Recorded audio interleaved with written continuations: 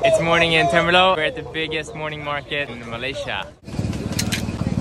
Can't wait to start a Sunday morning. You find tempoyak, which is fermented durian paste everywhere in this market. Wow. Spider-Man.